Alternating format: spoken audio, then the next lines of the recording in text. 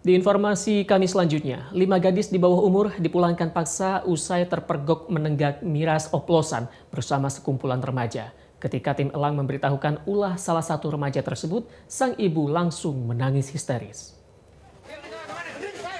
Tim elang Polrestabes Semarang bubarkan kumpulan remaja yang tengah habiskan malam minggu di tengah kota.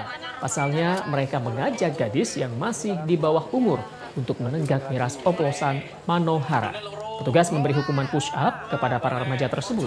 Saat dihukum, orang tua salah seorang dari mereka muncul dan menangis histeris melihat tingkah anaknya. Petugas kemudian membubarkan kumpulan ini dan menyerahkan sang anak kepada orang tua. Tim elang juga mendata tiap remaja untuk kemudian diserahkan kepada pihak sekolah.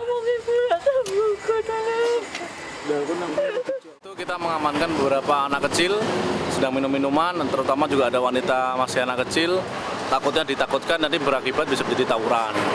Apalagi anak kecil, ah, wanita-wanita yang masih di bawah umur, biar kita suruh kurang, biar tidak terjadi yang tidak hal yang tidak diinginkan.